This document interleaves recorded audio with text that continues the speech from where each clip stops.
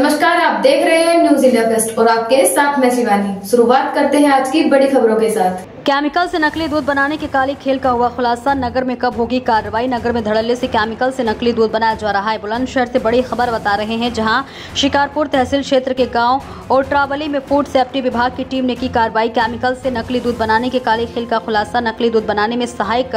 sorbitol तीन tin पोबीलिन oil और पंद्रह बोरे वेल पाउडर और केमिकल समेत नकली दूध बरामद छापेमार कार्रवाई के दौरान तैयार किया जा रहा था केमिकल से नकली दूध दिल्ली एनसीआर में की जाती थी और नकली दूध की सप्लाई हरित प्रदेश कंपनी के चिलिंग सेंटर की आड़ में बनाया जा रहा था नकली दूध फूड सेफ्टी विभाग की टीम ने 50 लीटर नकली दूध को फिकवाया केमिकल व्हील पाउडर समेत तमाम सामग्री के सैंपल लेकर सील किया गया है बुलंदशहर से धर्मेंद्र निगम की रिपोर्ट लेटेस्ट अपडेट के लिए हमारे चैनल न्यूज इंडिया फर्स्ट को लाइक शेयर एंड सब्सक्राइब करें एंड यस बेल आइकन को प्रेस करना ना भूलें